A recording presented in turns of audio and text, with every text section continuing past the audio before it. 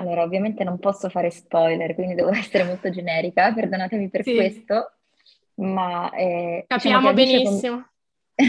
Alice si, preoc- si, è preoccupata tanto partendo dal suo cuore infranto all'inizio degli altri e invece piano piano in questa seconda stagione cominciamo a vedere il contrario, che inizia a occuparsi di se stessa e anche ad amarsi e questo è un bel modo di poter stare anche accanto agli altri, quindi la vedremo in altre mille avventure con il suo solito disagio agio, e sarà molto divertente.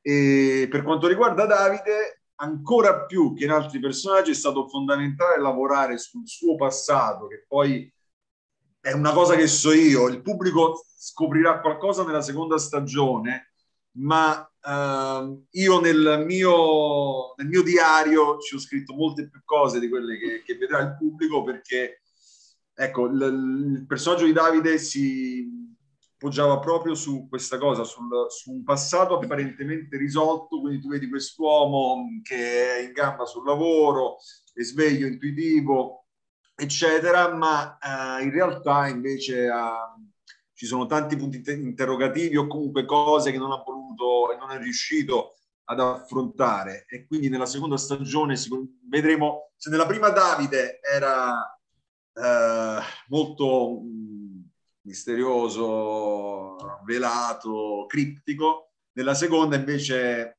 sarà, sarà costretto a tirar fuori tutto quello che ha dentro e, e sì, sia metaforicamente che letteralmente, quindi avrà tanto da, da dire e da fare.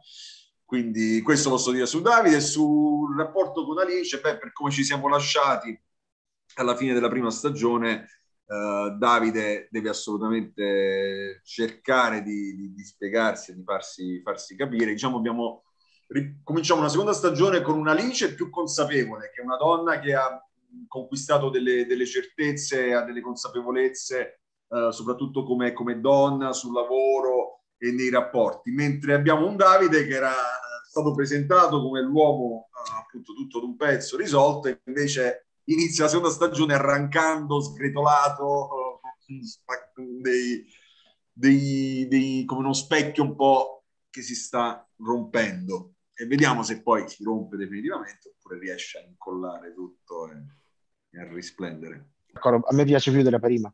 Eh, almeno dal punto di vista di sceneggiatura e di tutto quello che si portava dietro, la trovo più ricca.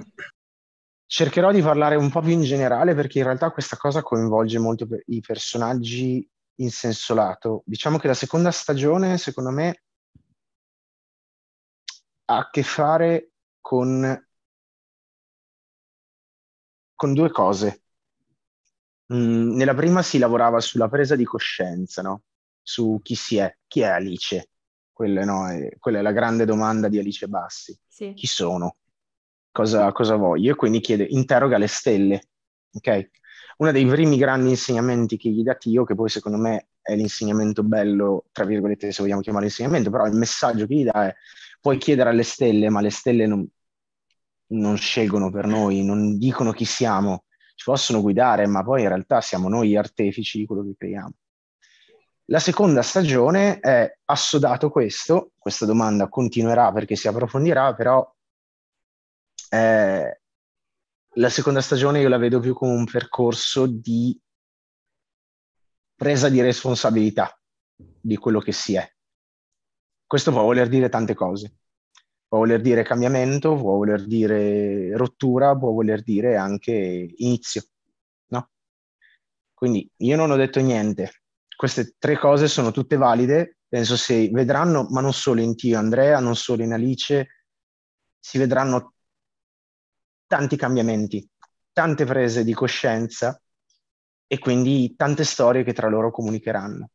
E quindi penso che, ecco, no, non è che si tireranno le somme, però sì, quella, quella cosa che dicevamo all'inizio, la seconda stagione è un po' più ricca della prima sotto questo punto di vista perché iniziano anche ad, inter- ad intrecciarsi i personaggi in maniera un- ancora più coesa no, tra loro. Quindi sì secondo me vedremo questo. Poi sono sempre curioso, non voglio mai dire troppo, ma non tanto per una questione di spoiler, perché sono sempre curioso di vedere cosa le persone vedranno sì, in questa esatto. storia.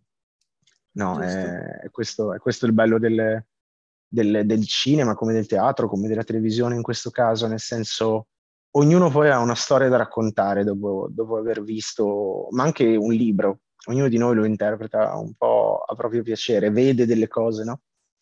E diciamo che il grande, il grande, la grande fortuna è quando con una singola interpretazione, ma in questo caso sempre con un'interpretazione, un lavoro di gruppo, vedi quante cose con, un, con una sola scelta, con una sola battuta, hai creato in, nelle persone che ti hanno guardato, no? E quindi questo è, è bello, sono curioso, sono curioso anch'io di vedere come, cosa vedranno gli altri.